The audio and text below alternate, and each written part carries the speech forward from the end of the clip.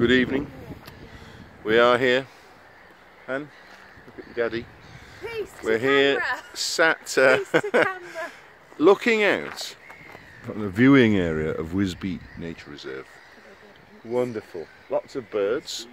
Been a list of lots of birds sighted in May.